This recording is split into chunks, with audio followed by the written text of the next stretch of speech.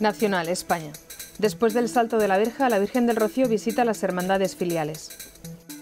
El domingo de Pentecostés es el día grande de las hermandades rocieras. La misa de romeros en el Real de la Aldea del Rocío es el único momento en el que se reúnen las 117 hermandades filiales rocieras, con sus capellanes al frente y muchos miles de romeros, y es una oportunidad de predicación fuerte para el obispo de Huelva, José Vilaplana Blasco. Desde bien entrada la madrugada reciben la visita de la imagen a la que profesan devoción, la también llamada la Blanca Paloma, que como cada lunes de Pentecostés sale de su santuario para acercarse a sus fieles.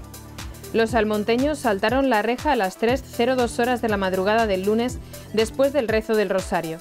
Desde entonces, en la procesión se fueron repitiendo los momentos de emoción, satisfacción y alegría al paso de la Virgen ante sus filiales, que este año fueron más intensos dadas las dificultades que muchos de los romeros pasaron durante el camino debido a las intensas lluvias.